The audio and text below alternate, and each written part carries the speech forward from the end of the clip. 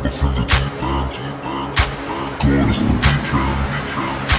Double for the deep. Double for the deep end.